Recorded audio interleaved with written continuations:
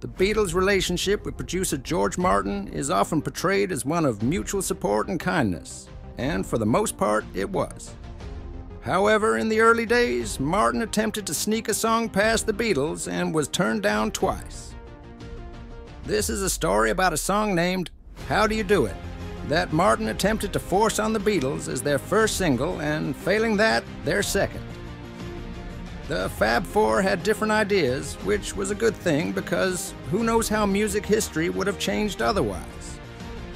Before we get into the story of How Do You Do It, it's important to note that the Beatles were not in high demand as a group when they joined with EMI Records. They had been turned down by various labels before landing a deal in 1962. In other words, they didn't start out strong in their relationship with the label. Fortunately, they found an immediate fan in EMI Parlophone's in-house producer, George Martin. Martin appreciated their sense of humor and cheekiness. But Martin wasn't so convinced about John Lennon and Paul McCartney's songwriting ability, at least not at the time. The Beatles' first recording sessions with Martin were already filled with turmoil when Ringo Starr arrived to drum. Martin stood firm. Because no one had informed him that the new Beatle Starr was on the way, he chose a session player named Alan White. Martin thought Starr struggled in the first session and demoted him to playing the tambourine. Martin was going to fight one more battle against the band, and it turned out to be much more difficult for him. At this period in music history, it was extremely rare for a rock and roll band to create their own material. These were still the days when professional composers created the songs, which were then collected by music publishers and pitched to bands.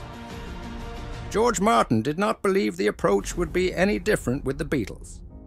As previously said, Martin was more struck with the group's personalities than their musical ability. And the original tunes they provided him didn't really impress him. Martin believed he had a secret advantage.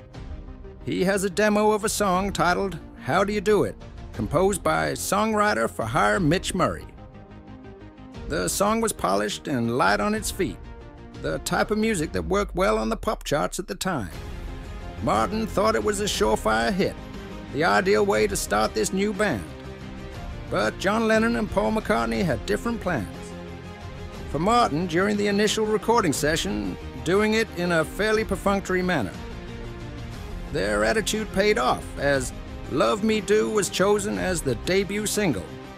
It was a minor hit in the United Kingdom, just making the top 20. The Beatles intended to record Please Please Me for release as their second single.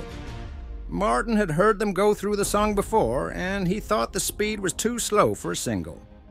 He again proposed that the Beatles release How Do You Do It instead.